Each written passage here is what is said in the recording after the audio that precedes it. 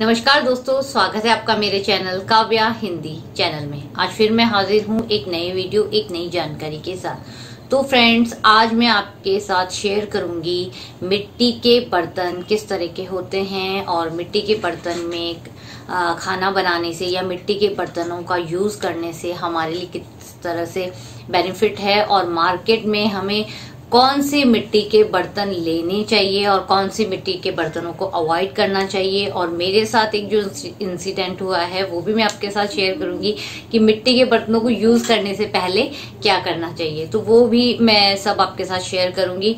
तो बिना देरी किए शुरू करते हैं आज का वीडियो तो फ्रेंड जैसा कि सब जानते हैं कि मिट्टी के बर्तनों में बनाया हुआ खाना स्वादिष्ट तो होता है और हमारी जो है स्वास्थ्य के लिए भी लाभकारी होता है।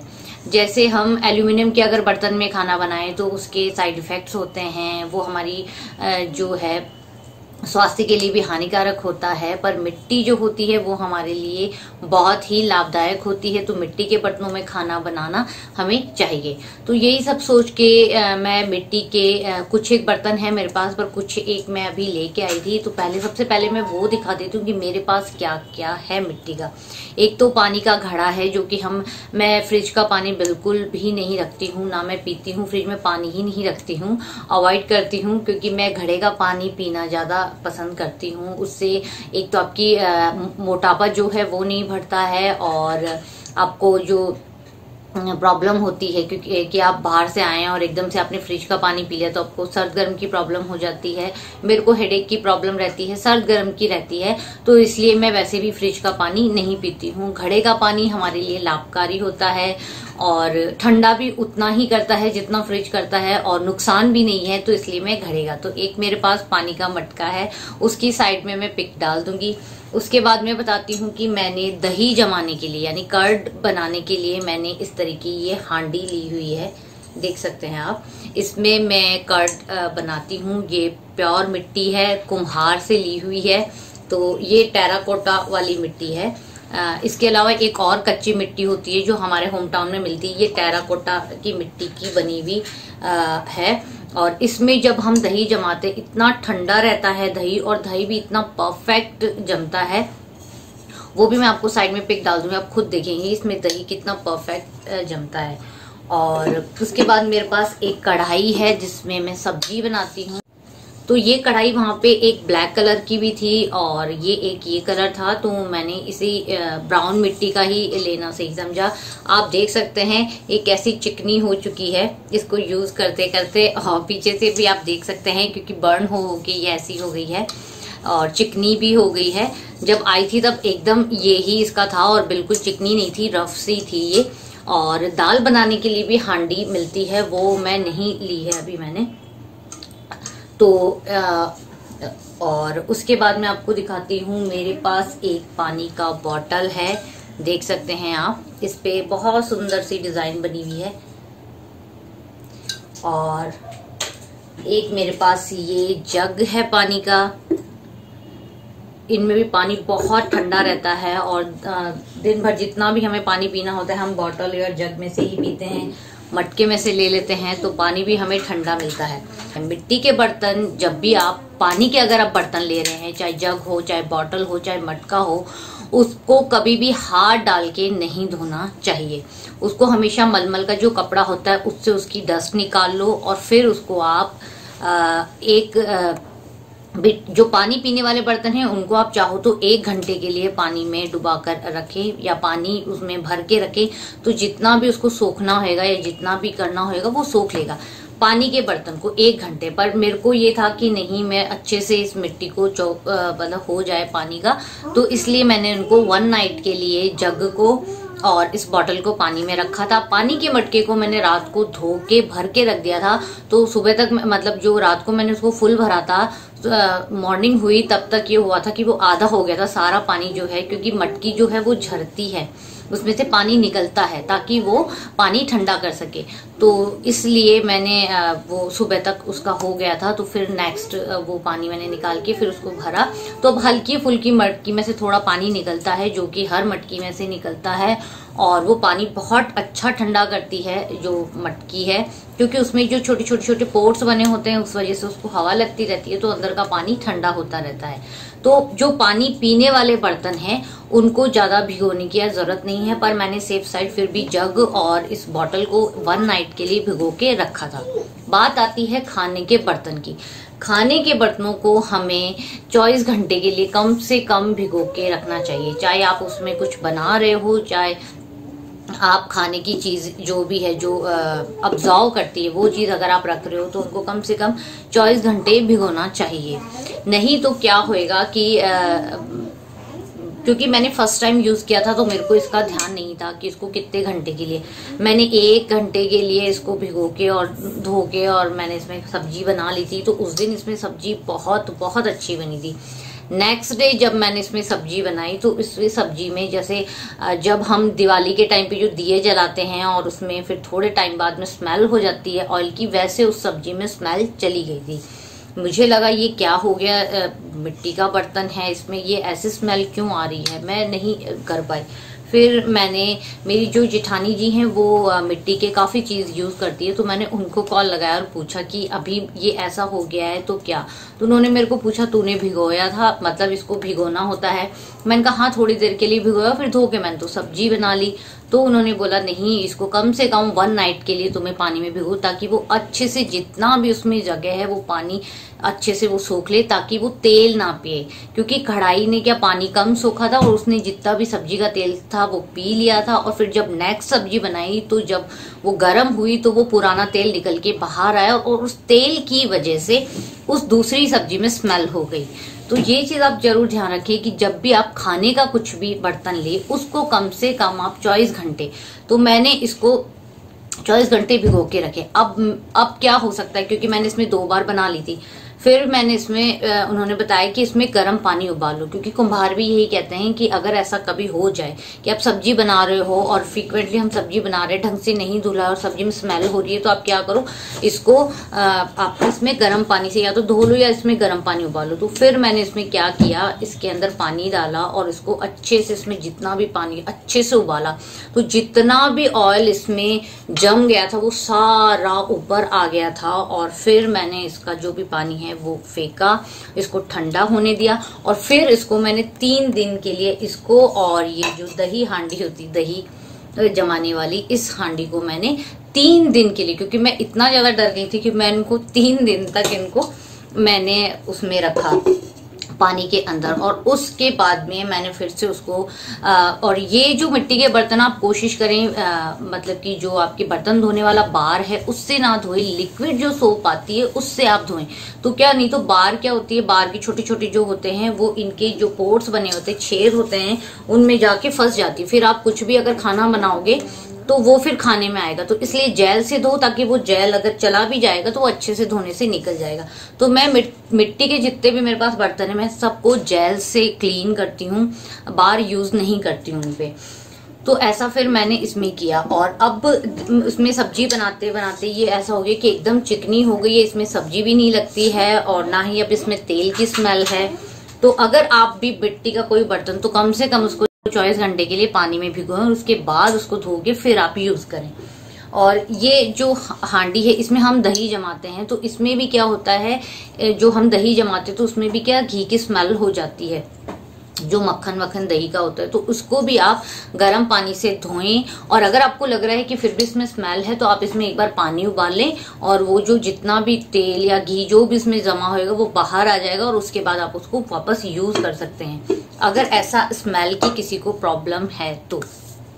क्योंकि मिट्टी के बर्तन ये है कि हमारे दादी, नानी यूज़ करते थे। हम, हमने इतना यूज़ नहीं किया। मैंने जब फ़र्स्ट टाइम यूज़ किया तो घड़े का मेरे को पता था कि मिट्टी के बर्तन को कभी हाथ डाल के, जो पीने वाले बर्तन थे, हाथ डाल के नहीं धोना चाहिए, क्योंकि वो स्मेल करते हैं। तो ऐसा उनको मेरे को था बट इसका मेरे को नहीं था तो फिर मेरे को ये नॉलेज में आया तो मुझे लगा कि मुझे अपने व्यूवर से भी ये शेयर करना चाहिए कि उनको अगर ऐसी प्रॉब्लम आ रही है और उन्होंने बना लिया है और अब प्रॉब्लम आ रही है तो उनको वे समझ के फेंके ना, उनमें गर्म पानी करे, उनको उबाल लें अच्छे से पानी को तो आपकी जितना भी ऑयल और जितना भी पुराना ऑयल वगैरह है या घी है, वो सारा निकल जाएगा और फिर आप उसको दोबारा से यूज़ कर सकते हैं, उस मिट्टी के बर्तन को आप वेस्ट समझ के फेंके ना। एक चीज़ और जो कि मैं आपको बताना चाहती हूँ फ्रेंड्स कि मिट्टी के बर्तन आप कोशिश करें कि आप अपने लोकल मार्केट से या कुम्हार से ही लें। क्यों? क्योंकि मिट्टी के बर्तन क्या है मॉल्स में मिल जाएँगे आपको ब्रांडेड शॉप पे मिल जाएँगे या फिर आप कहीं ऑनलाइन शॉपिंग शॉप से अगर मंगवाते हैं ऑनलाइन मंगवाते हैं तो आपको पर्टिकुलर उस शॉप से ही मिलेगा कुम्हार वाले नहीं मिलेंगे।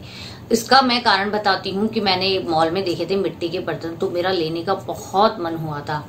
तो उसमें, उस बर्तनों में क्या था कि फिनिशिंग बहुत अच्छी थी, बहुत अच्छी और इतनी शाइन थे। मतलब जैसे ये बॉटल आपको रफ सी दिख रही है ना, कि इसमें कहीं पे आपको ये दिखेंगे जैसे ये बना हुआ है, कहीं पे ये ऐसे खरोंच का निशान है, या कहीं पे कुछ है, कहीं से कुछ है। मतलब इसमें इतनी फिनिशिंग नहीं है बट ये प्योर है।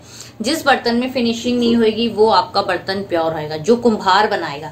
क्योंकि कुम्हार है, एक जैसी चीज़ नहीं बनती। उसके पास कोई बॉटल छोटी होगी कोई बॉटल थोड़ी लंबी होगी कोई का कैसा डिज़ाइन होएगा, किसी में हाथ के निशान प्रिंट बने हुए रहेंगे। तो वो होती है प्योर की की प्योर है वो। और एक चीज़ और, इस तरीके की रफ होंगी वो। ऐसा नहीं है कि इनमें देखो कलर नहीं किया हुआ, इसमें शाइन नहीं है कहीं पर भी। रफ जो होंगी, वो प्योर कुम्हार की होगी। आपको मॉल्स में या किसी ऐसे ब्रांड में अगर आप लेंगे तो उनमें केमिकल यूज़ होता है। तो उस मिट्टी के बर्तन में आप चाहे पानी पियो, चाहे खाना बनाओ तो वो अगेन आपके लिए नुकसानदायक यानी हानिकारक हो सकता है। क्यों? क्योंकि उनको एक ही सांचे में, एक ही तरीके से बनाने के लिए उनमें केमिकल्स यूज़ करते हैं। उनमें जो पेंट किया जाता है ताकि वो शाइनी और बहुत खूबसूरत दिखे तो उसके लिए भी, उनमें पेंट करने के लिए भी वो केमिकल का यूज़ करते हैं। और और उनको स्ट्रांग बनाने के लिए कि वो बर्तन जल्दी से चट, टूटे ना तो उसके लिए भी उनमें केमिकल यूज़ करते हैं ताकि वो मज़बूत रहें स्ट्रांग दिखें। तो इस तो इस तरीके के अगर आप किसी मॉल से या किसी ऐसी शॉप से अगर मिट्टी के बर्तन लेने जा रहे हैं या ले चुके हैं तो वो यूज़ मत करें। वो असली मिट्टी के नहीं, उनमें कुछ ना कुछ केमिकल ज़रूर यूज़ हुआ होएगा, तभी वो इतनी शाइनी स्ट्रांग और प्रॉपर एक ही शेप में, एक जैसे ही सांचे में ढले। क्योंकि कुम्हार जो होता है, वो उसका ऐसा तो है नहीं कि वो हर को परफेक्ट एक ही साइज़ दे। कोई साइज़ में उसकी हांडी बड़ी होएगी, कोई बॉटल छोटी होएगी, कोई में कुछ होएगा और किसी में प्रिंट्स बने होंगे आप देख सकते हैं, ये जो कढ़ाई है, इसमें यहाँ पे हैंड हाथ के निशान छपे हैं। तो कुम्हार जो हाथ से चीज़ बनाएगा, उसके हाथों के मतलब प्रिंट्स होंगे तो इस तरह के प्योर मिट्टी वाले ही बर्तन लें। अदरवाइज़ आप स्टील के बर्तन में बनाएँ। अगर वैसी मिट्टी का, जो केमिकल वाली मिट्टी को यूज़ करने से अच्छा है कि आप स्टील में ही बनाएँ। और अगर आप मिट्टी के बर्तन यूज़ कर रहे हैं तो अपने लोकल मार्केट से या कुम्हार से जाके ही लें। पहचान मैंने आपको बता दी है कि बहुत से रफ होंगे और कोई भी जो है, आप देख लेना कुम्हार के पास जाके कोई भी बॉटल आपको एक जैसी, एक सरी सी नहीं दिखेगी, एक सार नहीं होगी, कोई डिफरेंस होएगा। जग ले लें, चाहे आप घड़ा ले लें और सब पे आपको कुम्हार के प्रिंट के निशान रहेंगे रफ होंगे और इस तरह का कोई शाइनिंग ये देखिए कितनी रफ है, इस पर कोई कलर नहीं है, कुछ नहीं है। तो इस तरीके की जो रफ बर्तन होंगे, वो ही प्योर मिट्टी की पहचान है। और फ्रेंड्स अगर आपके घर में मिट्टी का घड़ा है, मटका है, जिससे आप पानी पीते तो आप कोशिश करें कि या तो उस पर नल लगवा लें, क्योंकि मेरे पास है जो नल वाला है, ताकि आप नल से उसको ओपन करके पानी निकाल सके। बार बार मटकी के अंदर हाथ ना डालना पड़े, क्योंकि हाथ डालने से फिर स्मेल हो जाती, या फिर आप डंडी वाला जो लोटा आता है, वो रखें, ताकि उससे आपको अपने हाथ ना डालने पड़े। तो इससे पानी गंदा भी नहीं रहेगा, हाइजीन के देखते हुए भी वो ठीक रहेगा, और नल है तो बेस्ट है। तो मैंने अपने मटके में नल लगवा रखा है, ताकि आप वो नीचे ग्लास रख के आराम से आप उसमें से पानी निकाल सकें।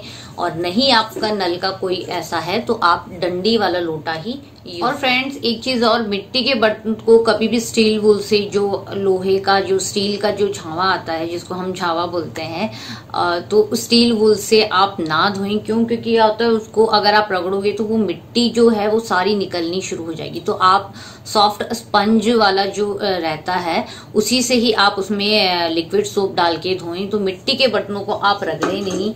क्योंकि आप देख सकते हैं, मैंने भी इसको बिल्कुल नहीं रगड़ा क्योंकि इसके अंदर क्या होता है कि वो जैसे भी अगर हम स्टील वूल से रगड़ेंगे तो ये ऊपर का सारा वो क्या मिट्टी उतार देगा। इसीलिए ये आप देख सकते कितनी काली और ऐसी है, क्यों? क्योंकि आप स्टील वूल से इसको नहीं रगड़ सकते। अगर आपको वही प्रॉब्लम है कि इसमें स्मेल आ रही है तो आप पानी इसमें उबाल सकते हैं बट स्टील वूल से इनको ना धोएँ। मिट्टी के कोई भी बर्तन को सॉफ्ट स्पंज वाले पैड से ही तो फ्रेंड्स मिट्टी के बर्तनों को लेके मेरे को आपको अवेयर करना था कि मार्केट में ऐसे भी बर्तन आए हुए हैं जो शाइनी है देखने में बहुत सुंदर हैं बहुत अट्रैक्टिव लगते हैं बट वो हमारे सेहत के लिए अच्छे नहीं हैं।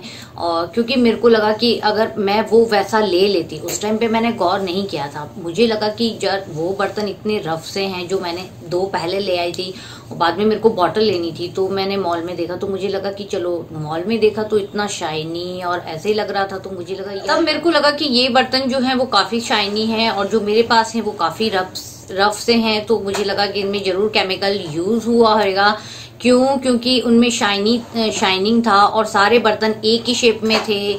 सब कुछ ऐसा परफेक्ट दिख रहा था और वो मजबूती देखने के लिए भी उसमें था कि बहुत ज़्यादा हार्ड है तो मुझे लगा ये तो कुछ तो गड़बड़ है इसमें।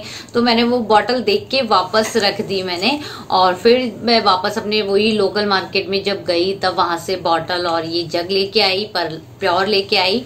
तो ये चीज़ मेरे को आपको शेयर करनी थी कि ताकि आप भी ध्यान रखें कि अगर ऐसी कोई चमकने वाला मिट्टी का बर्तन आपको दिखे तो आप बिल्कुल ना लें। आप कुम्हार वाले जो रफ दिखते हैं बट वो अच्छे हैं। दिखने में भले ही वो अच्छे ना हो बट वो आपके हेल्थ को कोई इश्यू नहीं करेंगे, कोई आपके हेल्थ को नुकसान नहीं देंगे। तो आप ऐसे ही बर्तन लें जो कि कुम्हार बनाता है। तो अगर मेरा वीडियो या अगर मेरी जानकारी आपको थोड़ी सी हेल्पफुल रही हो, या आपको कुछ भी इसमें अच्छा तो मेरे वीडियो को लाइक कर दें शेयर इसको ज़्यादा से ज़्यादा करें ताकि ज़्यादा लोग जो हैं इस वीडियो को देख के अवेयर हुए और ध्यान रखिए मिट्टी के बर्तन लेते वक्त और सब्सक्राइब ज़रूर कर दे। अगर आप मेरे चैनल पे नए हैं तो और बेल आइकन को हिट कर दे ताकि आने वाले वीडियो का नोटिफिकेशन सबसे पहले आपको मिले। फिर मिलती हूँ एक नई जानकारी और एक नई वीडियो के साथ। तब तक के लिए बाय फ्रेंड्स